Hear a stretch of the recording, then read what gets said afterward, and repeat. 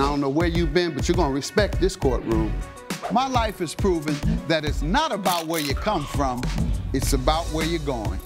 From a jailed youth who had my record expunged to becoming the youngest judge elected The Honorable Judge Greg Mathis presiding. in just 15 years. Ma'am, let me know when you want to go to rehab. Otherwise, I think you're a crackhead. Absolutely not. My goal is to inspire others to overcome their obstacles. You don't need him and his little raggedy roommate. Thank you. All while having a little fun on Mathis Court. You look like you're ready to lie right the first word out your mouth. This is Mathis Court with Judge Mathis. Fern MacArthur is suing Gregory Abadair in the amount of $625. Mr. MacArthur claims his neighbor led him to believe his house was haunted and says the defendant then charged him to remove a ghost that didn't exist. All right, state your name, Fern MacArthur. sir. Gregory Abadair. All right, and sir, you're suing the plaintiff for $625. You charged him to remove a ghost from the house that didn't exist, says he felt the ghost. That's what you say, he felt the ghost. Why me? Start with you, sir. Yes, sir. Um, I am suing my neighbor, Greg, uh, for $625 because he swindled me out of that because he led me to believe that there was a ghost in my house, and that was not the case at all. How could he come in your house and make you think there was a ghost there? Well, it all started when I moved from uh, Nashville, Tennessee to Plano, Texas. I was looking for a house that I could afford, um, and I found this one. And I was throwing a party at my house because I wanted to get to know the neighbors. So I passed out flyers, um, and he showed up on time. So I thought he was going to be, you know, a nice guy. And then when the party was over, he offered to stay and help clean up. And, you know, he asked me about how the house was. And then I, I started to tell him, you know, it was like, I, I'm hearing things that night. you Just- told him you were hearing things. I, I, I told him that. I was like, I was hearing things that night, and I didn't know what it was. It just sounded like something moving around and whatnot. And so he mentioned to me that the previous owner, uh, Mrs. Hudson, passed away in that house. I had no idea. The uh, the real estate owner didn't tell me that, so I had no idea that somebody passed away in that house. no, no. so, everybody that owns a house, when they get 80, 90, 100 and pass, the real estate person supposed to tell you. It would be nice to know something like that, yeah. He planted that idea that it's the ghost of Mrs. Hudson in the house, you know, but at, at that time when he mentioned it to me, it was like, okay, well, that, uh, that kind of makes sense, I guess, you know, I'm a little Because you're hearing things I'm already. hearing things, it's like, okay, if she died here, you know. What time do you usually hear things? It's usually in the evening Yeah, time, when like people start late getting at night. high. Uh-huh, late at uh-huh. night is usually when, late it at night. Yeah, when people start getting you know, high. When That's not how it go. Mm-hmm. Late I- at night. I Drop went the mushrooms off on you. You seeing everything. You seeing and hearing everything. You'll give me some testimony, sir. I'm sorry. I've been neglecting you. That's okay. It's a, Go I know it sounds like it's an interesting story, Your Honor, but I am a paranormal investigator. What happened with me is when I was over there, and this is the thing that makes me laugh about his testimony, is he said I planted the seed. I thought he knew. Everybody in the neighborhood knew. All I did was Knew ask what? That about uh, Mary Lou That a passing away. ghost lived there, that Mary Lou had Mary Lou passed away, transitioned yes. into a ghost. Yes, she needs to go home. She needs to see the light and go home. Okay, God didn't send her. She just hasn't left. Got and it. that's where I come in. Okay, and back to planting the seed. There was Yeah, no she seed. must know she going to hell. That's why she ain't leaving. She said, She I ain't sweet going. lady. I ain't leaving I knew this her house. before. So I can die five times. I ain't leaving out of here. I know where I'm going. Yeah. Go ahead. Yeah, I, mean, I knew her before. Um, she was married. She, her and her husband Clint would walk the neighborhood all the time. Then once he passed away, I believe it was in 2005. Then she just became a recluse. Like never came out. Like you'd see her in the window. I'd see her in the window every now and then. And people would drop off her groceries. And then when she passed, you know, uh, it, it was said that you know once in a while people would still see her in the window. That's what I'm talking about the neighborhood and stuff like that. Did I ever see her in the window? No, I didn't. I never saw anyone in a window or anything. But you know how neighborhoods are. They talk. Did you ever see what is referred to as a ghost at his house? I did not. Did you ever see anything that we might describe as a ghost? I did not see anything, no. So no one saw a ghost. Did you go and evaluate the house So- to determine whether there was a ghost? I, d- I did not evaluate until he invited me over. To do what? Just as a To- casual No, he wanted. He he was convinced it was a ghost. Okay, so he wanted to hire you. Yes, yes. And, and, and I did I did lead on a little bit because I'm like, okay, what are you hearing? And he said that the thing that stood out to me was the, the groaning. What's that? Exactly. Groaning. Yeah, groaning, like groaning, like oh, oh, oh like I that. thought you you, said the woman husband had died before. okay. I guess he didn't leave the house either. huh? That's good. That's good. That's Go good. ahead. But yeah, so I mean, that's what stood out. Not the creaking and all that stuff, the, the, the groaning part. And I'm like, oh, all right. And then I was like, oh, well, then I brought up the story that I thought he already knew. Coming up on Mathis Court with Judge Mathis. I just thought it was an old creaky house. No, you didn't. You even said it yourself. I didn't know what it was. He said he was into the same things I am, but apparently now he's not. Yes. Are you? And later, Everyone on set was pretty stressed out.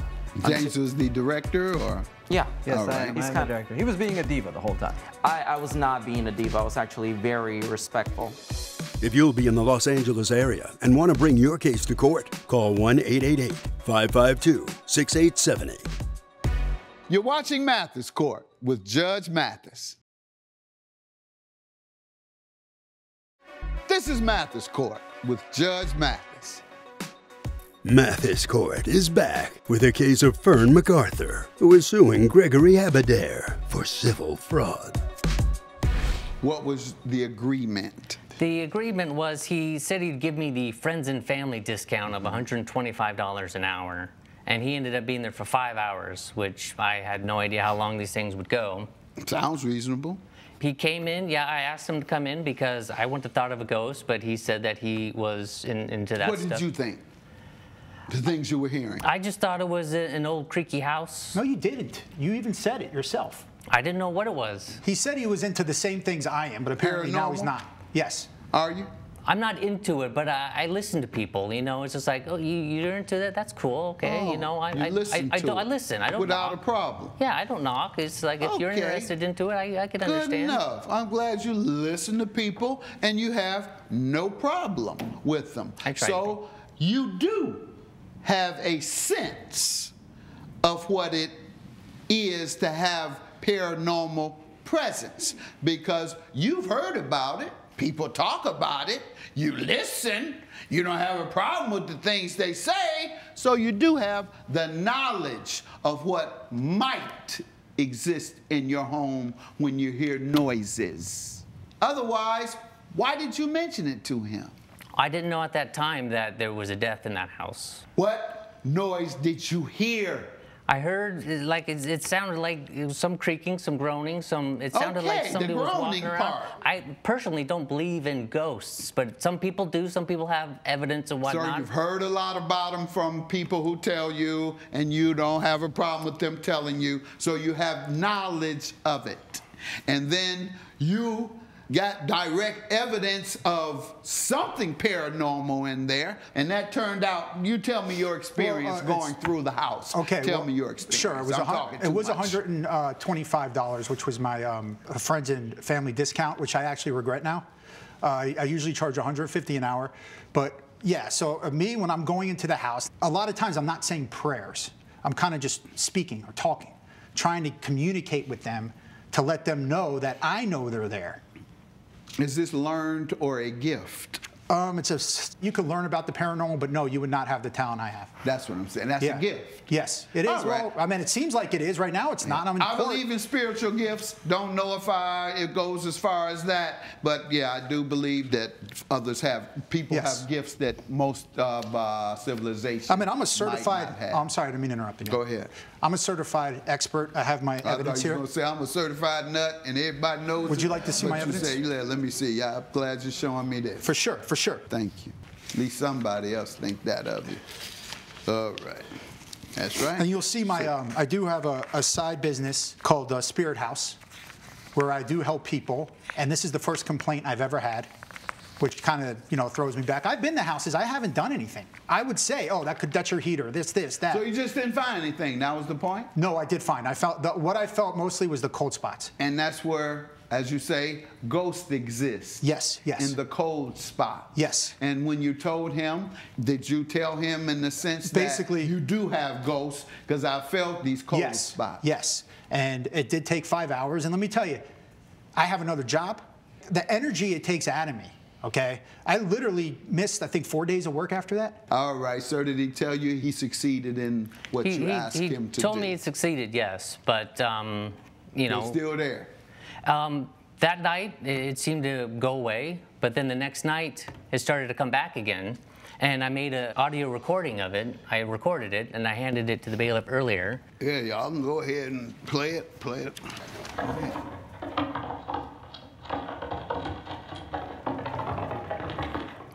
All right, sir. He came. You said it went away, but that's what came later. That- that's what How came- do I know it came later? Did you contact him the next day and said, "Listen to this"? Oh no, he contacted me with the payment. No, I'm saying. Oh, I know that. I'm just saying, Your Honor. Informing you on the night Well- that it returned. Did I- he come and say to you, the ghost has No. returned? I didn't did not. know. That's my point. You I did didn't not contact give. him. Be quiet. Sorry. You. It was a breach of contract because, in your opinion, but however, you did not give. Even if I were to believe it, and I don't, you have to give a person a chance to cure the breach, and that's when you were supposed to go back and say, "I still have the ghost. Come try again." And then if he doesn't try, it's like. Okay, if it doesn't work then again, or it works and then returns, that's what he he can. He's allowed to say, "I tried," and he could not cure the breach. But then the judge would decide whether it was a breach. I don't believe it was a breach. Well- I don't. I think you got the services that you paid for. He came and he looked through. That cost six hundred dollars because it returned. His game is make sure it returns so he can come back and get him another six hundred. But you didn't even know the con. Well, but I, I didn't know. I wanted to give it more time to see if it kind of went away, to see if it had a No, you were lasting supposed favor. to tell him immediately. But- but then- two days later, or you said it returned a few days later. You were supposed to say it's back. Have a good day. Your claim is dismissed. All rise. Judge Mathis has ruled in favor of the defendant. The plaintiff's claim has been dismissed. Building a taller fence. We have to in court. Please step this way. Coming up, He doesn't know a star when he sees one. I wouldn't consider myself a star of his production. Oh, why are you making all these demands, Dan? I thought you were. You know, all these demands you making. You're watching Mathis Court with Judge Mathis. This is Mathis Court with Judge Mathis. Adam Fields is suing James Moore in the amount of $300. Mr. Fields claims he was hired to appear in the defendant's movie and says he was sent home without pay after a disagreement over his costume. State your name, Adam Fields, sir. It's James Moore. All right, and sir, you're suing the defendant for $300, alleging he failed to pay you for a performance you did in the short film. that is correct. All right, start with you. I've known James for maybe like six months now, and he called me. He said, Hey, one of my actors dropped out, and I know you act, so would you like to fill in for me? I'll make it worth your while. I'll pay you $300. If you come in, you can use this for your reel. I'm running super short on time. I have to go out. I buy a blazer. I show up for the day of the shoot. Um, after they finally got everything kind of settled on set, we did a dress rehearsal.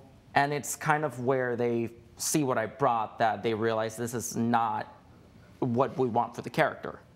So they give me some options.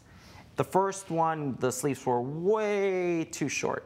It was taking away from the dramatic value. If I walk in there looking, well, like a clown. What did you say when they were bringing you things that were too small? Well, I expressed my concerns to the PA, and like I said, everyone on set was pretty stressed out. James was the director, or Yeah. Yes, All I am. He's I'm the kind- director. He was being a diva the whole time. I, I was not being a diva. I was actually very respectful. let me hear from you, sir. So I have actually evidence here where you can see in the text messages that I sent him that I asked him to bring several options. Let's see that, please. That's your first thing out your mouth, sir, is that you only brought, you didn't know what to bring other than a blazer. Coming up, How did it end? I, He when- told me to walk off set because I was being I a did diva. not tell he said, if you're not happy set. What did with you the way? I run my set, go home. You're watching Mathis Court with Judge Mathis. This is Mathis Court with Judge Mathis. Mathis Court is back with the case of Adam Fields, who is suing James Moore for unpaid wages. He only brought a blazer. I do not understand why. I even explained in the text message, bring what you can, you know, we'll work with you. We, we'll take care of you if we have some backup options. He needs to understand, I don't know what type of actor he is. He doesn't decide what he gets to wear on my film. We decide what look mm-hmm. we need you to be in. I honestly don't think he's a real actor. I did share my reel with him. He saw it, so if he didn't think I was a real actor, I don't understand why he asked me to be part of his production. I'm sure I'm not the only actor that he knows. They reached and- out to you. Do you. Are you saying they reached He- out to you, He correct? had come up to me when we had originally met and told me that he was an actor. So you stand up. If this is something you want to do in your future and you want to make a career out of it, you take one for the team. And he wasn't willing to work with us. I tried on everything they gave me. Everything. Everything they gave me. and nothing was satisfactory to you. It was just He's on- a diva. Uh, the no. whole you go through the whole wardrobe on set and nothing is sufficient. Well, they gave me two options. That's all they gave me. The first hour was him trying to get the set Yeah, up on you, its he doesn't know who he was dealing with. He I. I did ask him to come in early. He I- doesn't know a star when he sees one. I wouldn't consider myself the star of his production. Oh, I'm You- sorry. Why are you making all these demands, Dan? I thought you were. You know, all these demands you making. To be honest, at this point, I just want to get paid for my time. And overall, just to make up for the entire process. Did you complete your services? I was definitely, I was there for five hours. How did it end? I, w- He when- told me to walk off set because I was being I a did diva. not tell he said, him if to you're not walk off happy set. What did with you the way? I run my set, go home. How will Judge Mathis rule? Find out when Mathis Court returns. You're watching Mathis Court with Judge Mathis. This is Mathis Court with Judge Mathis. I don't believe he would have you put on clothes that's going to hurt his film. This is he's more interested in making things perfect than you are. He has a film he has to sell and get his money back and profit. So no, I'm not going to grant you this judgment because you were unsatisfied with the wardrobe that the director requested you to wear. They have an idea of what they want. They have their own vision. Some of them even have men wear dresses in their movies, and in, uh, and they've become very famous actors. Uh, Robin Williams, he became most famous where he played a woman, and that's what brought him to my attention, and he became a superstar. So I'm saying that to say. You have to do what the director and the wardrobe department tells you to do. Otherwise, do what you did. Walk off, but don't expect to get paid because you're not today. Uh, your claim is dismissed. All rise. Judge Mathis has ruled in favor of the defendant. The plaintiff's claim has been dismissed. I wish you the best of luck in your career. The replacement that I bought in was so much better, and I'm very happy with the results. So thank God he wasn't in my film. Mm-hmm.